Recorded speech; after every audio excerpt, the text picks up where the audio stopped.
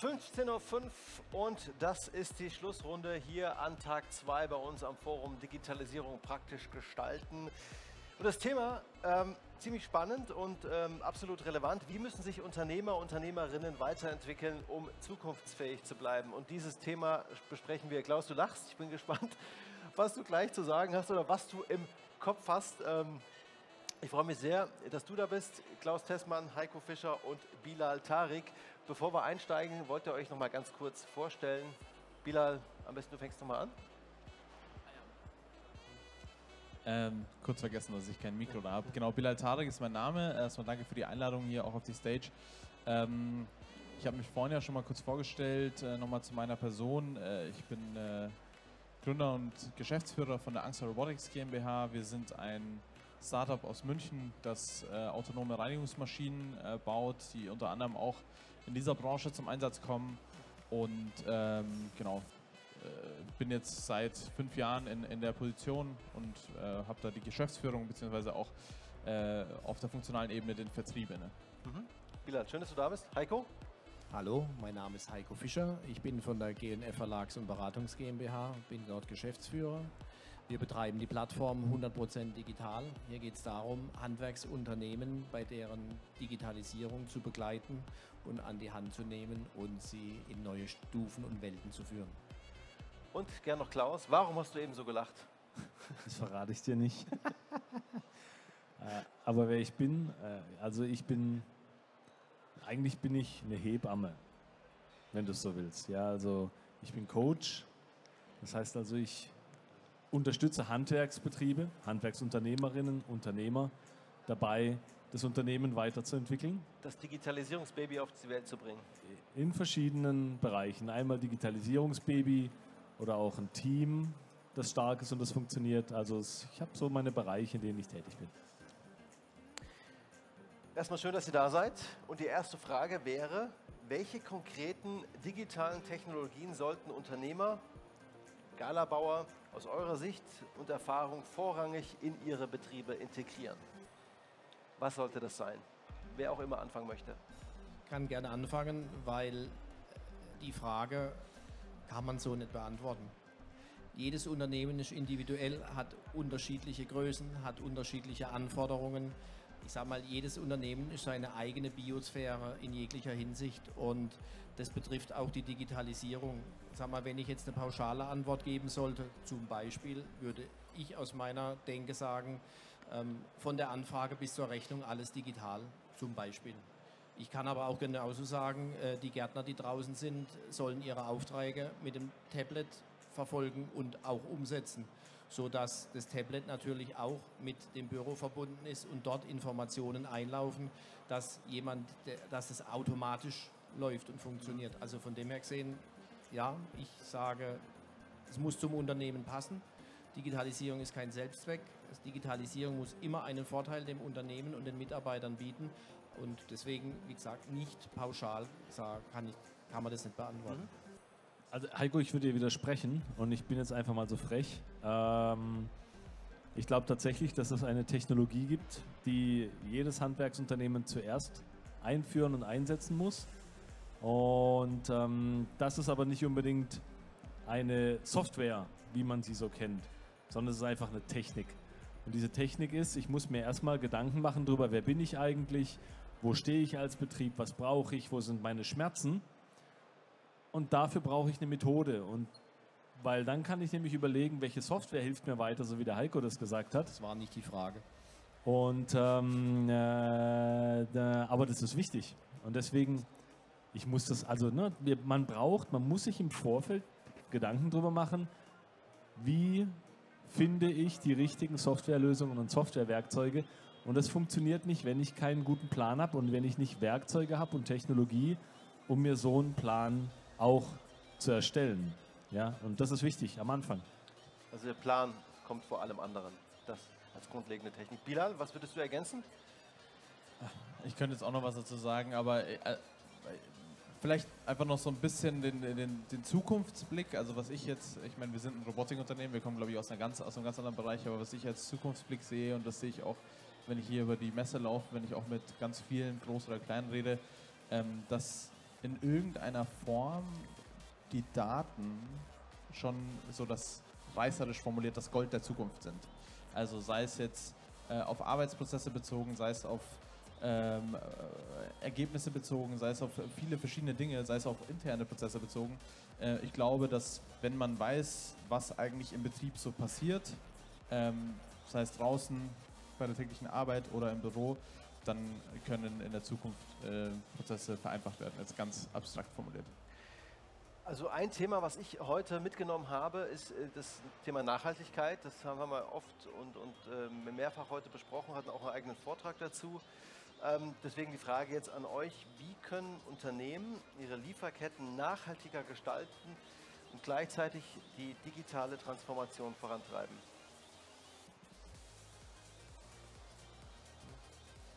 Also Lieferketten nachhaltig zu gestalten, bedeutet in erster Linie mal zu wissen, was ist überhaupt in meinem Lager. Wenn ich nicht weiß, was in meinem Lager ist, dann fährt mein Monteur achtmal in der Gegend rum und ähm, weil er wieder ein Teil vergessen hat, das er dann wieder vom Großhändler holen muss. Dann ruft er aber vorher nicht beim Großhändler an, fährt zum Großhändler, dann hat der Großhändler es nicht da, dann fährt er wieder zurück auf die oder auf den zum nächsten Großhändler. Also da beginnt für mich der Gedanke der, der nachhaltigen Lieferkette. Also natürlich kann ich mir Gedanken darüber machen, ähm, ich muss mit nachhaltigen Lieferanten zusammenarbeiten, die möglicherweise regional produzieren. Ähm, das ist aber kein Thema von der Digitalisierung, sondern das, wo ich mit digitalen Werkzeugen in meinem Betrieb ganz konkret im Alltag ansetzen kann, ist ein digitales Lagermanagement, so dass ich weiß, wann gehen meine, meine Teile, meine Rohre, was auch immer, meine Werkzeuge, meine Schrauben, wann geht das aus, wann ist es zu Ende und dann kann ich es rechtzeitig nachbestellen und dann müssen meine Monteure nicht hin und her fahren. Würde ich auch äh, auf jeden Fall komplett unterstützen. Für uns in dem Fall, wir sind ja auch ein erzeugendes äh, Gewerbe, ist, ist, auf jeden Fall aber auch, dass wir schauen, natürlich ist für uns ähm, die Versuchung immer sehr groß, äh, Teile aus, äh, aus China oder mhm. irgendwo anders herzubeziehen, wo sie, wo sie vielleicht äh, vielleicht sogar preisgünstiger auf den ersten Blick zu haben sind, aber wir merken das für uns auf jeden Fall und äh, ich muss die Frage jetzt natürlich aus Herstellerbesicht beantworten, äh, weil ich sie nicht als, als anderen Betrieb beantworten kann. Aber für uns gilt, dass wir sehen, ähm, der günstigere Preis, den man auf den ersten Blick hat, ist nicht immer der günstigere Preis, weil die Nähe zu Lieferanten, die kurzen Wege, die, die, der enge Kontakt, den wir jetzt zum Beispiel mit unseren Lieferanten, die alle in Europa sitzen, haben, die sparen uns langfristig deutlich Kosten, weil wir dann, wenn wir Fehler in der Produktion haben, wenn wir Probleme haben bei den Lieferketten, ähm, dann, äh, dann sind die Wege kurz, dann ist es zeitlich nicht so schlimm und äh, Fehler können schneller behoben werden. Ähm, und das ist es für uns, da, da, da, ist der Euro im ersten Moment wirkt dann äh, schlechter investiert, wenn man sagt, okay, wir holen uns Lieferanten aus Europa, aber langfristig merken wir, ist das die deutlich klügere Entscheidung. Ja, wir haben ja gemerkt, was in Corona passiert ist, ja, wo die gesamten internationalen Lieferketten zusammengebrochen sind, was den deutschen Markt extrem geschadet hat. Deswegen müssen wir uns äh, nicht nur mittel- bis langfristig, sondern kurzfristig Gedanken darüber machen, wie kann man wieder regionale Lieferketten auch aufbauen. Und da hat das Handwerk natürlich ähm, eine wichtige Rolle in dem Zusammenhang. Aber ich sage mal, es ist ein Aspekt, aber ein anderer Aspekt ist ja, ähm, ich kann nicht alles regional machen und ich muss überregional oder weltweit meine. Produkte beziehen. Und dann geht es ja darum, wenn wir dann über Nachhaltigkeit sprechen, wie sind dort die Arbeitsbedingungen, wie sind die Umweltbedingungen, passen diese Produkte eigentlich bei uns in unserer Welt? Und das ist ja auch ein Aspekt vom Lieferkettengesetz. Mhm. Lass uns mal bei der Nachhaltigkeit bleiben und mal die Brücke zur KI schlagen, war ja auch heute mehrfach Thema. Welche Rolle könnten eures Erachtens künstliche Intelligenz hier spielen und bei der, speziell eben bei der Entwicklung nachhaltiger Geschäftsmodelle helfen? Ähm, ich glaube, aus unserer Sicht ist, wenn wir jetzt mal das konkrete Beispiel ChatGPT zum Beispiel nehmen, also wir in unserem Betrieb setzen ChatGPT tatsächlich schon relativ stark ein und äh, eigentlich alle Mitarbeitende, egal ob jetzt in der Entwicklung oder äh, im, im, im, in den internen Operations, alle haben eigentlich Zugriff auf, auf ChatGPT. Und einfach aus dem Grund, dass wir ähm, merken, dass sich die Art der Arbeit, besonders wenn man es in einem Bürojob zu tun hat, so ein bisschen dahingehend entwickelt, dass das ChatGPT zu benutzen auch ein Skill ist, den man erlernen muss. Und zwar, dass man sich gewisse Dinge ersparen kann, indem man gute Fragen stellt. So ein bisschen wie man sagt, als Google ein Thema wurde, musste man sich plötzlich überlegen, wie google ich gut. Mhm. Und so muss man sich das mit ChatGPT, um dieses Tool wirklich auszunutzen, muss man sich überlegen, wie benutze ich es wirklich sinnvoll. Und dann kommen meistens auch ganz gute ähm, Ansätze bei raus und konkret auf diese Frage bezogen. Ich glaube, dass wenn man äh, den Umgang mit solchen Technologien erlernt, man sehr schnell äh, Einsparpotenziale erkennt. Mhm. Ähm, die oder bessere Geschäftsmodelle macht.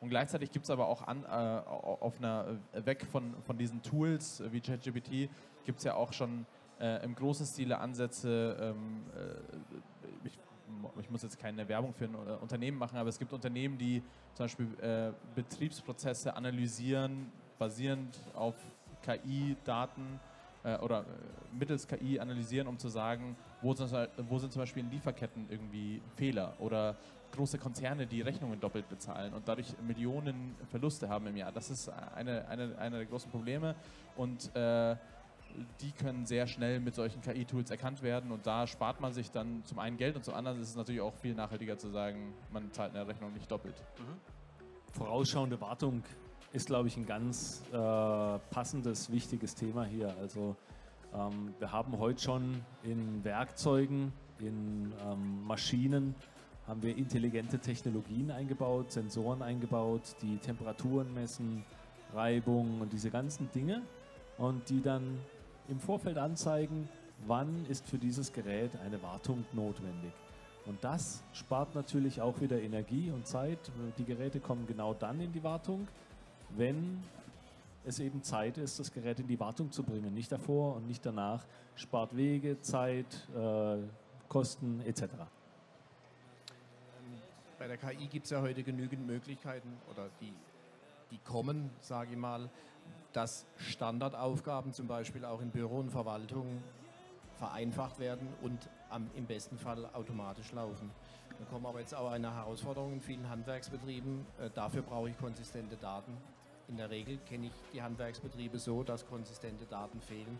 Also man müsste dann noch dafür sorgen, dass Daten auch wirklich dann verarbeitbar sind und dass es auch eine KI nach deren Logik auch auslesen und daraus Schlüsse ziehen kann, die dann mir meine Arbeit vereinfachen, sei es ähm, standardisierte Anfragen, also wenn Anfragen reinkommen, ist die KI in der Lage, wirklich dann auch zu bewerten, wie werthaltig sind diese Anfragen.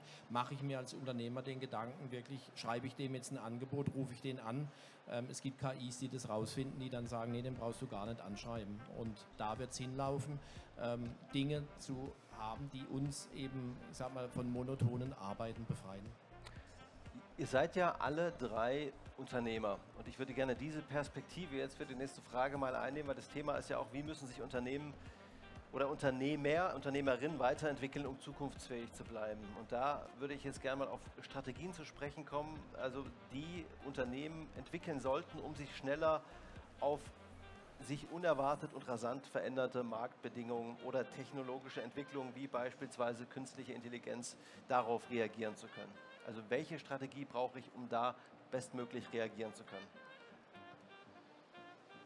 Also aus meiner Sicht sollte ich drauf schauen, dass ich erstmal offen mit Augen und Ohren bin und schaue, was sich draußen im Markt tut, was sich in der Technologie tut, was sich in meinem Gewerk tut. Und ich bin der festen Überzeugung, dass, ähm, dass digitale Abläufe im Unternehmen ganz viele Vorteile für den Unternehmer und die Mitarbeiter bringen.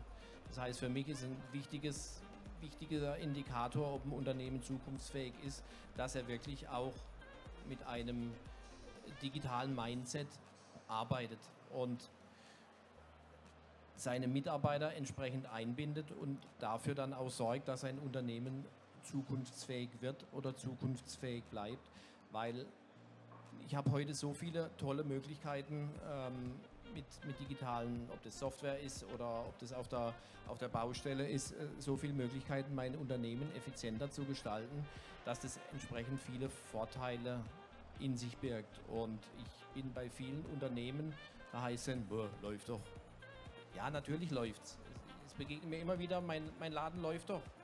Dann komme halt ich und sage, er könnte aber 20, 30 Prozent besser laufen, was dir entweder zum Beispiel eine höhere Umsatzrendite bringt, was dir möglicherweise äh, bietet, ähm, mehr Aufträge mit der bestehenden Mannschaft ähm, auszuführen oder aber auch, das darf man nicht vergessen, die junge Generation drängt nach und die junge Generation hat mit Sicherheit keine Lust, mit irgendwelchen Rapportzetteln und ähm, Auftragsmappen durch die Gegend zu laufen.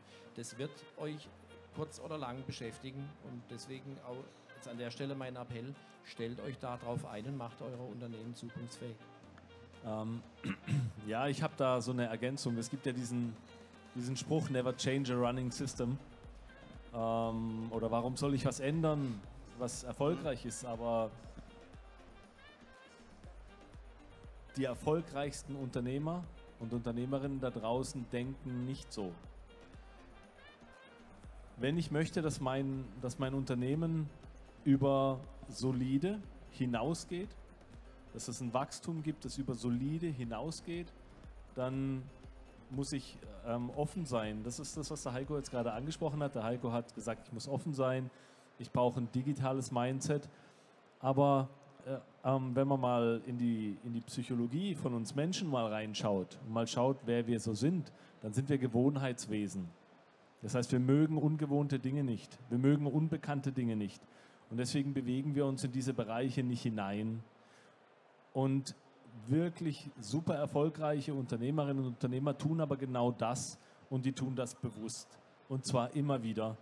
Das heißt also, die durchbrechen immer wieder gewohnte Bahnen und bewegen sich in neue Felder, in neue Dinge rein. Und dadurch bleiben die agil im Kopf. Also es ist ja nicht damit getan, jetzt zu sagen, Jetzt, jetzt äh, hole ich mir ein offenes Mindset. Das ist nicht eine Entscheidung und dann habe ich das. Klar, ich muss die Entscheidung treffen, dass ich mir das jetzt aneigne, aber es ist eine Fähigkeit.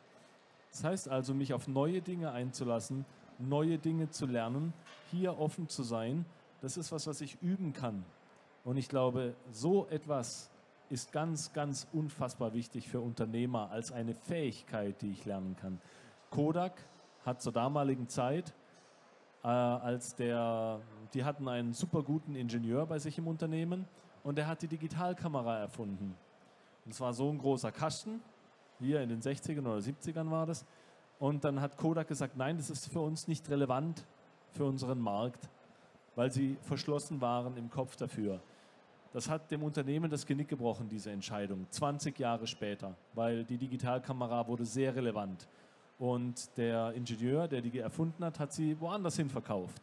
Und deswegen, ich glaube, das ist eine Fähigkeit, die Unternehmer trainieren müssen, um auch in Zukunft, in fünf oder zehn Jahren noch agil zu sein im Kopf.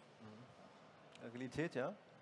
Ähm, ich würde ich würd sogar, ich würde da ergänzen, also ich kann eigentlich äh, alles bisher und genauso unterschreiben. Ich würde ergänzen, dass ich glaube, besonders auf künstliche Intelligenz bezogen so ein, so ein bisschen so ein Missverständnis besteht, weil dieser Begriff künstliche Intelligenz, das hat so einen ganz reißerischen Namen und das Wort Intelligenz, das schwebt so über allem und man denkt, oh mein Gott, was kommt da jetzt? Und man hat irgendwelche Filme gesehen und denkt, jetzt geht die, jetzt geht die Welt unter. Aber so ist das ja gar nicht. Wenn man sich ein bisschen damit beschäftigt, was künstliche Intelligenz eigentlich ist und ganz einfach beschrieben, wenn man früher einen Algorithmus hatte, der gesagt hat, das ist ein Hund, das ist eine Katze. Und wenn du eine lange Schnauze siehst, dann ist es ein Hund. Und wenn du die äh, schmalen Augen siehst, dann ist es eine Katze. Also du, man gibt einen Algorithmus, der eine Regel vorgibt. Wenn es so aussieht, dann ist es das. Und eine künstliche Intelligenz dreht das Ganze eigentlich nur um. Die sagt, man nimmt ein Bild von einem Hund und von einer Katze und man gibt das Ergebnis vor und man sagt, so sieht ein Hund aus und so sieht eine Katze aus. Und jetzt erlern du mir, selbstständig diese Regel dazu. Ich gebe dir keine Regel mehr vor, sondern du musst die Regel erarbeiten. Und das ist eigentlich, ganz einfach gesagt, alles, was eine künstliche Intelligenz kann. Mehr auch nicht. Das heißt, es kann sich sehr gut diese Regeln erarbeiten und dann auf neue Dinge anwenden. Und wenn man das versteht und weiß, okay, viel mehr ist es eigentlich nicht. Und auch ChatGPT versteht eigentlich nicht, was es sagt, sondern es ist nur sehr gut darin, das nächste Wort zu prognostizieren. Es wird sehr technisch, aber was ich damit eigentlich sagen will, ist, ähm, ich glaube, man kann diese Offenheit, äh, die du angesprochen hast, erlangen, indem man sich ein bisschen damit beschäftigt, indem man, indem man diese Angst davor auch abbaut, indem wir äh, Gespräche darüber führen, was bedeutet künstliche Intelligenz überhaupt. Vielleicht haben wir es auch falsch benannt, vielleicht können wir es einfacher benennen und das ist eigentlich nicht nur für Wachstum, sondern wenn wir auch auf den Fachkräftemangel schauen, wenn wir sagen, in Zukunft werden wir weniger Leute haben, die die Jobs machen, ähm, dann geht es nicht nur darum, ein wachsendes Unternehmen zu gestalten, sondern vielleicht muss ich in Zukunft meinen Betrieb leider auch mit weniger Leuten, aber genauso effizient oder höher effizient und genauso effektiv gestalten, wie er heute ist. Und dann wird es unumgänglich sein, solche Technologien zu nutzen. Davon bin ich überzeugt. Gehört nicht auch zur Strategie dazu, ähm, für mich als Unternehmer, als Unternehmen, mich noch besser zu vernetzen, vielleicht, als ich es bisher gemacht habe? Was glaubt ihr, welche Bedeutung haben Unternehmens- oder Branchennetzwerke und Kooperationen in einer digitalen, sich rasch verändernden Ge Geschäftswelt? Also ich finde es ähm, extrem wichtig. Äh, sag mal, viele Hände, schnelles Ende. Es ist, äh, ist ein analoger Spruch aus der analogen Welt, aber letztendlich, ähm, wenn ich mich mit anderen zusammenschließe, dann schließen sich quasi Hirne zusammen. Das heißt, eigentlich wird mein Hirn, wenn wir, zehn, wenn wir hier zehn Leute sind, wir sprechen über die Digitalisierung, wir werden unterschiedliche Erfahrungen haben, wir werden unterschiedliche Angänge haben. Das heißt, ich würde auch von euch profitieren, indem ihr Dinge gelöst habt, wo ich es vielleicht gar nicht so gesehen habe. Also das heißt, Community oder Netzwerken ähm, ist immer von Vorteil. Und klar, die Menschen müssen sich einander vertrauen und man muss sich mögen. Alles gut, das sind die menschlichen Komponenten. Aber wenn es dem Zweck dient, mein Unternehmen weiterzubringen, ich kenne viele Unternehmernetzwerke, das ist einfach, das ist oft ein Genuss, wenn man da mal rein darf in diverse ERFA-Gruppen etc. Also ich kann jeden nur ermuntern, ähm, in, sich mit anderen Unternehmern zu verbinden. Ja, also ich stimme Heiko vollkommen zu. Das ist, deswegen gibt es auch ERFA-Gruppen im Handwerk, wo verschiedene Handwerksbetriebe zusammenkommen und Erfahrung austauschen miteinander. Weil manchmal ähm, ist es gut, einen Fachmann da zu haben, aber wenn ein, Hand, wenn ein Handwerker durch das, durch das durchgegangen ist, wo der Fachmann ihm einen Rat dazu gegeben hat, dann ist es nochmal eine ganz andere Qualität von Wissen, weil es ist durch Erfahrung gewachsenes Wissen. Und so, solches durch Erfahrung gewachsenes Wissen, das können Netzwerke vermitteln. Und ich glaube, diese Netzwerke werden in Zukunft immer wichtiger, auch unter dem Aspekt, dass es, glaube ich, immer wichtiger wird, dass das Handwerk sich zusammenschließt als solches. Denn wir haben ein Wachstum der Konzerne, wir haben ein, eine Bildung von großen Konglomeraten, auch in Handwerksbetrieben. Es gibt immer mehr große Handwerksbetriebe, konzernartige Handwerksbetriebe. Und ähm, das ist aus meiner Sicht keine gesunde Entwicklung. Denn je mehr große es gibt, desto mehr gehen die Kleinen unter diesem Rad dann auch verloren. Und ähm, das ist keine gesunde Entwicklung aus meiner Sicht. Deswegen brauchen wir starke Netzwerke von Handwerksbetrieben untereinander, die hier einen Gegenpol dazu bilden. Jetzt haben wir ja eben darüber gesprochen, so ein bisschen, was für Kompetenzen ich als Führungskraft äh, haben soll, damit ich in der, in der komplexen und dynamischen Geschäftswelt quasi bestehen kann. Lasst uns doch mal einen Schritt weiter gehen und auf die Mitarbeiter schauen. Wie kann ich im Unternehmen sicherstellen, dass meine Mitarbeiter über die notwendigen, sage ich mal, Fähigkeiten verfügen, um die digitale Transformation ganz aktiv mitzugestalten? Ähm, ich sage jetzt einen abgedroschener Satz, den hören wir auch von der Politik. Ich muss die Mitarbeiter mitnehmen. Was heißt denn das konkret? Ähm, wenn ich als Chef der Meinung bin, ich mal als Beispiel, ich habe zehn Gärtner draußen und habe vielleicht auch Teams und ich möchte jetzt, dass sie digital arbeiten. Klar, ich brauche ein Tablet, ich brauche Software drauf. Ich habe in einem anderen Gewerk das schon erlebt, dass ähm, der Chef zu mir sagte, oh Herr Fischer, wir wollen den mobilen Monteur einführen. Ich habe zehn Tablets gekauft. Naja, und dann? Ja, ich habe sie meinen Mitarbeitern gegeben und habe ihnen eine Stunde erklärt, wie es funktioniert. Dann frage ich, ja und, hat es funktioniert? Zwei Wochen später waren die Tablet Tablets im Keller. So, also wenn ich mir die Mühe mache und erkläre meinen Leuten eine Stunde lang, wie sie mit Tablets und Software umgehen sollen, dann sage ich, setzen sechs. Ähm, das geht einfach nicht. Ähm, ich muss mir Gedanken darüber machen, wie sind die wie sind die getaktet? Sind da digitale Verweigerer dabei? Sind da welche dabei, die vielleicht die Sprache nicht so gut sprechen? Ich muss Schulungen machen, ich muss sie möglicherweise draußen begleiten, wie sie mit dem Tablet arbeiten, sonst bekomme ich nicht das Ergebnis raus, das ich möchte und dann wird das Projekt scheitern. Ähm, ich würde auch äh, eigentlich genau das Gleiche unterstützen. Also wir sehen das, ich kann das an unserem Beispiel sagen, also wir sehen das in unserer tagtäglichen Arbeit, dass wir bei den Kunden am, am besten ankommen, wo seit Tag 1 eigentlich die Mitarbeiter, die dann auch wirklich unsere, unsere Reinigungsmaschine, die autonome Reinigungsmaschine auch einsetzen, wirklich abgeholt sind, im Entscheidungsprozess auch beteiligt sind und auch früh Bedenken abgebaut wurden. Ähm, und ja, spätestens in der Schulung, wenn wir dann reinkommen, dann klar kommt noch das ein oder andere skeptische Gesicht in den Raum, das sagt, ach, was will ich denn jetzt eigentlich hier und was soll denn hier diese Maschine, was ist denn das für ein Ding?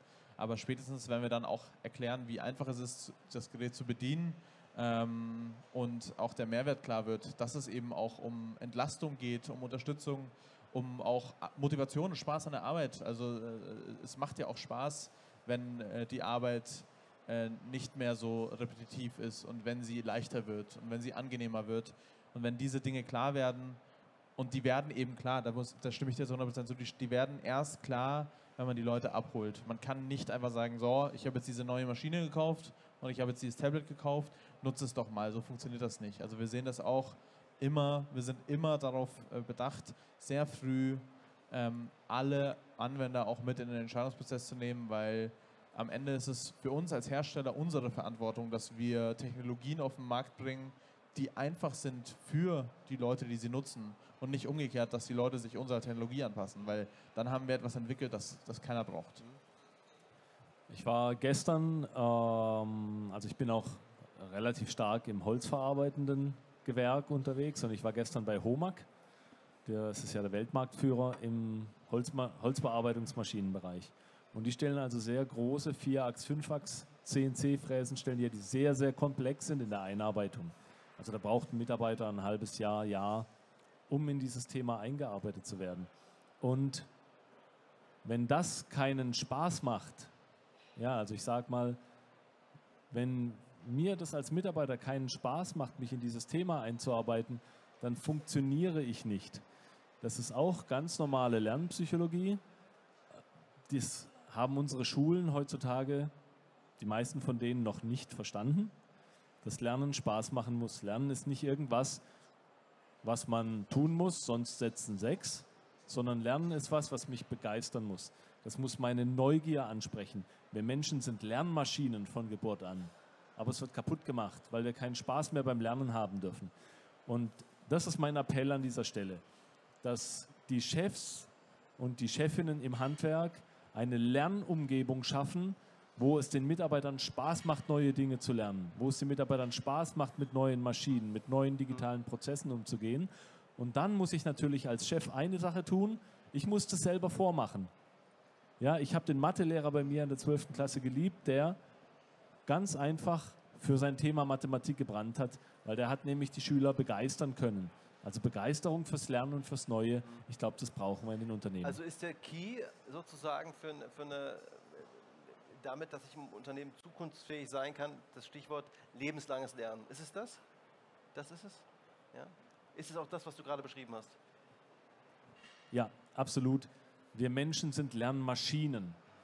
Das ist kein Witz. Ähm, wir, also ich sage es mal so, Lernen funktioniert durch eine Vernetzung von Informationen. Das heißt, dieses Ding, oh, ich bin jetzt alt und einem alten Hund kann man keine Tricks mehr beibringen, das ist völliger Blödsinn, weil unser Gehirn ist eine unfassbare Lernmaschine. Ja, wenn ich verstehe, wie agil das auch noch im Alter ist, das ist unfassbar. Ja, weil je mehr Informationen ich da drin habe, desto besser kann ich neue Informationen mit den bestehenden Informationen nutzen. Es sei denn, ich blockiere mich selbst, indem, indem ich glaube, ich bin jetzt zu alt, ich kann jetzt nichts mehr lernen. So, aber von dem her, lebenslanges Lernen ist was, was Spaß macht. Das ist keine Belastung. Lasst uns noch ein bisschen, Heiko, wolltest du was ergänzen? Ansonsten lasst uns gerne noch einmal ähm, über das Unternehmen im Kontext von, von Gesellschaft und Umwelt sprechen. Welche Entscheidungen oder welche Auswirkungen haben denn meine Entscheidungen als Unternehmer auf die Gesellschaft und die Umwelt? Wie können wir als Unternehmen oder wie können Unternehmen generell eine positive Unternehmenskultur fördern, die auf Werten wie Nachhaltigkeit und sozialer Verantwortung basiert? Ähm, also ich glaube, erstens ist es eine sehr große Frage und eine sehr allgemeine Frage, aber ich glaube, um da eine passende große Antwort zu geben, die, die, die, die Verantwortung ist da enorm. Also ich glaube, als Unternehmer, besonders wenn man ein wachsendes Unternehmen äh, gestaltet, ähm, hat man auf allen, auf allen Ebenen. Also wir sehen es bei uns, wir haben bei unseren äh, Mitarbeitenden, wir haben bei unseren Kunden, wir haben aber auch mit, äh, wir, wir, haben wir, haben autonome Reinigungsmaschinen, die wir im öffentlichen Raum einsetzen. Wir haben einen sehr direkten Einfluss ähm, auf die Umwelt und auf äh, unbeteiligte Bürgerinnen und Bürger. Ähm, also ich kann jetzt nur für unser, unser Unternehmen sprechen, ähm, dass, wir, dass wir da sehr bedacht äh, darauf sind, was wir eigentlich ähm, mit unserem Geschäft da so machen und welche Auswirkungen es auch darauf hat. Und deswegen ist bei uns auch Nachhaltigkeit in allen Bereichen. Also äh, im ökologischen, aber auch im ökonomischen Sinne, einfach ein, ein, wichtiger treibender Faktor, dass wir schauen, dass wir Entscheidungen treffen, die wirtschaftlich sinnvoll sind und die auch ähm, unserem Mantra entsprechen, dass wir sagen, wir möchten eine, eine Technologie aufbauen, wir möchten Lösungen bieten, die insgesamt einen positiven Impact haben. Also sei es jetzt, dass wir offensichtlich die Umwelt ein bisschen sauberer hinterlassen, aber sei es auch, dass wir dem Fachkräftemangel etwas entgegenwirken und Unterstützung und Entlastung für Mitarbeitende bieten. Ah, zunächst mal muss das natürlich in unser Leitbild als Unternehmen überhaupt erstmal einfließen. Das heißt, ich muss äh, das Thema Nachhaltigkeit mir zu einem Ziel setzen und muss es auch irgendwo hinschreiben. Und dann, wenn man es aber irgendwo hingeschrieben hat und sich vielleicht sogar das Leitbild an die Wand hängt, dann ist es mit Sicherheit noch viel wichtiger, dass ich das lebe weil wenn ich das nicht lebe, die Ersten, die es merken, sind meine Mitarbeiter. Und wenn die an diesem Leitbild vorbeilaufen, sich das Leitbild anschauen und dann sagen, ah, alles klar, dann habe ich schon verloren. Also ich muss mir so ein Ziel, das ich mir setze, dann auch authentisch vorleben und dann auch mir überlegen, okay, wie leben wir das denn als gesamtes Unternehmen? Und dann funktioniert es meistens auch. Ich würde gegen Ende mit euch gerne nochmal über die Risiken sprechen für mich als Unternehmer, als Unternehmen, die die digitale Transformation vielleicht mit sich bringt. Wie, was sind das vielleicht für Risiken und wie kann ich die als, als Unternehmer minimieren?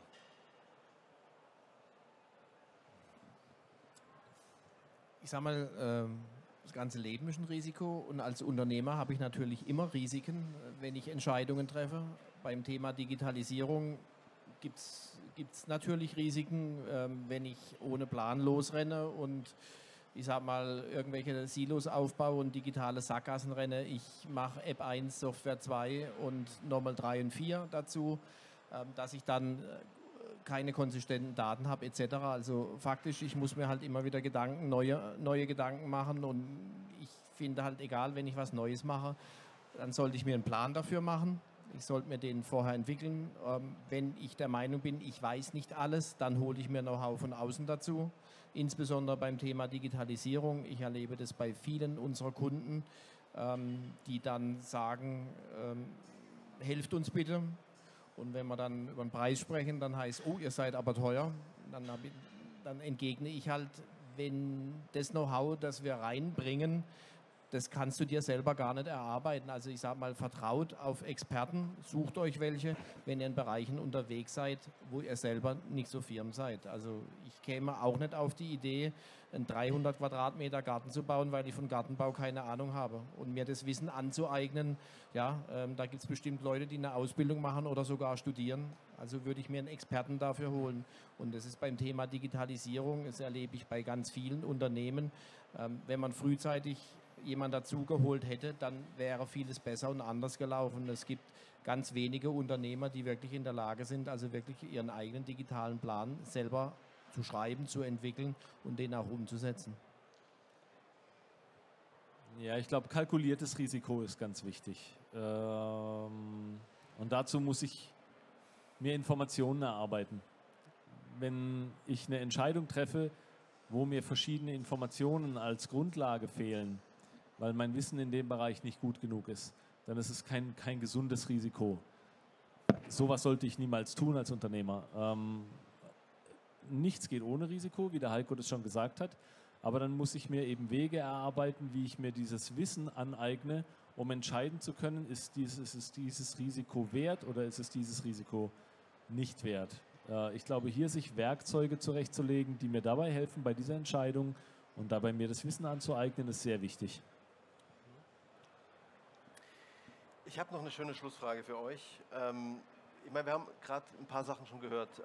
Das, was ist als Unternehmer wichtig, damit ich quasi gewährleisten kann, dass ich und mein Unternehmen in die digitale Zukunft, ähm, dass ich da sicher auf dem Weg bin. Welche Eigenschaften, also lebenslanges Lernen war eine Sache, Heiko, was du mehrmals gesagt hast, dann noch dieses sich immer wieder in die Schmerzzone begeben, also raus aus der gewohnten Zone. Vielleicht kann das jeder von euch nochmal so als Schlussappell mit in die Runde geben und mit an alle Zuschauer dann draußen, die das im Nachhinein nochmal schauen.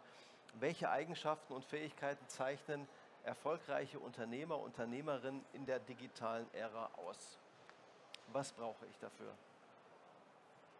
Also, ähm, ich meine, wir sind, wir sind ein Startup, das heißt, äh, wir kommen, glaube ich, aus, aus einem Umfeld, wo ähm, es auch viele Unternehmen oder, oder Gründer versuchen und auch ja, einige davon, davon scheitern.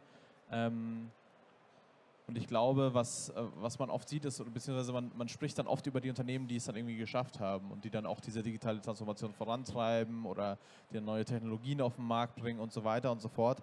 Und es wird halt eben äh, oft auch vergessen, wie viele es nicht schaffen auf dem Weg.